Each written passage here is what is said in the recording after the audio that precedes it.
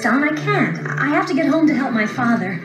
Goodbye. that crazy old loon, he needs all the help he can get.